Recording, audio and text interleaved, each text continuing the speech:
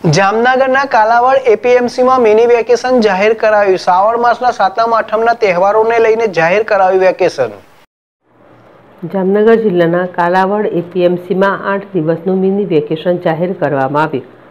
સાતમ આઠમની રજાને ધ્યાનમાં રાખી એપીએમસી ચારથી અગિયાર સપ્ટેમ્બર સુધી બંધ રહેશે. એટલે કે આજથી આવતા સોમવાર સુધી બંધ રહેશે અને બાર સપ્ટેમ્બરને મંગળવારથી કાલાવડ એપીએમસી રાબેતા મુજબ શરૂ થશે.